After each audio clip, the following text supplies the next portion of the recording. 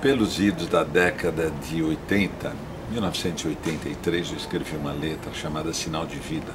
E ela diz mais ou menos o seguinte: É chegada a hora onde a voz calada solta um grito aberto e rasga a terra puta, onde o latifúndio é mundo roubado e o homem simples é ser explorado. Há que endurecer sem perder a ternura. Se te está morto, a luta continua. Faz da nossa causa a causa maior faz desse impossível possível ser melhor. O presente não permite mais um crime pune. Nesse continente, o futuro é o que nos une.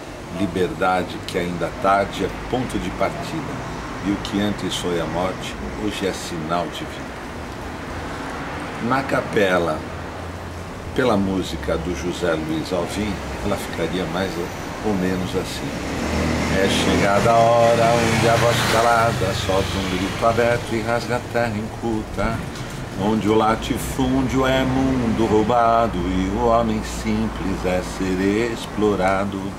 Ai que endurecer e manter ternura, se te está morto a luta continua. Faz da nossa causa a causa maior, faz desse impossível possível ser melhor. O presente não permite mais um crime impune. Nesse continente o futuro é o que nos une.